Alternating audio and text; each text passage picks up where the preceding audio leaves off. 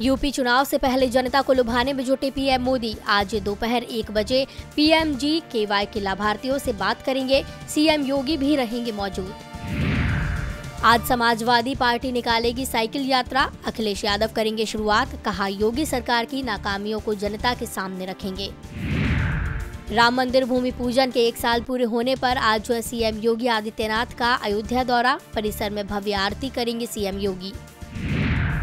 फिर गरमाएगी पंजाब की सियासत। प्रशांत किशोर ने कैप्टन अमरिंदर सिंह को लिखा पत्र, कहा मुख्य सलाहकार के पद से मुक्त करें। पीएम मोदी और अमित शाह के खिलाफ अवमानना याचिका पर सुप्रीम कोर्ट में आज होगी सुनवाई। राकेश अस्थाना की नियुक्ति के खिलाफ दायर की गई है याचिका। सुप्रीम कोर्ट पहुँचा पेगासस जासूसी मामला। अब एडिटर्स गिल्ड ऑफ़ इंडिया ने किया एससी का रुख। आज होगी मामले की सुनवाई। जम्मू कश्मीर में 2019 में यूएपीए के तहत 1948 लोग हुए थे गिरफ़्तार।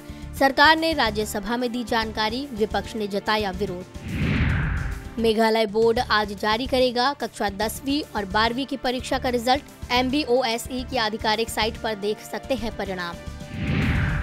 24 घंटे में कोरोना के बयालीस नए मामले 533 लोगों ने गवाई जान। अकेले केरल में बाईस हज़ार चार सौ चौदह केस।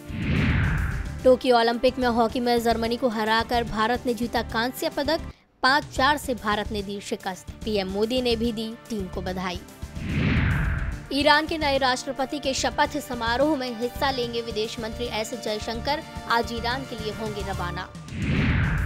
यूएई ने भारतीयों के लिए खोले दरवाजे। शर्तों के साथ आज से एंट्री की अनुमति। यात्रियों के पास उनके देशों में जारी टीकाकरण का प्रमाण पत्र होना ज़रूरी।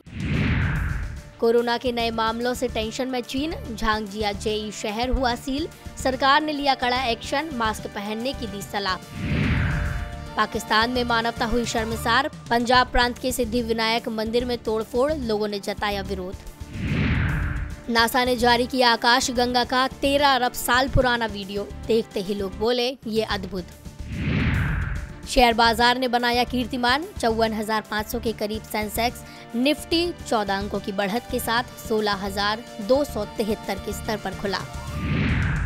सैलानियों के लिए खुशखबरी, महू कालाकुंड हेरिटेज आज से शुरू, कोरोना काल की वजह से 16 महीने से थी बंद, फिर पटरी पर दौड़ेगी ट्रेन। पेट्रोल और डीजल के दाम में आज भी बदलाव नहीं। आज भी दिल्ली में पेट्रोल का दाम एक सौ एक रुपए चौरासी पैसे, जबकि डीजल का दाम नवासी रुपए सतासी पैसे प्रति लीटर। फ्लिपकार्ट बिन्नी और सचिन बंसल पर लग सकता है दस हज़ार करोड़ का जुर्माना। ईडी ने फ्लिपकार्ट, बिन्नी और सचिन बंसल को भेजा कारण, बताओ नोटिस। नोएडा प्राधिकरण मामले को लेकर सुप्रीम कोर्ट ने लगाई फटकार, कहा अंग अंग से टपकता है भ्रष्टाचार।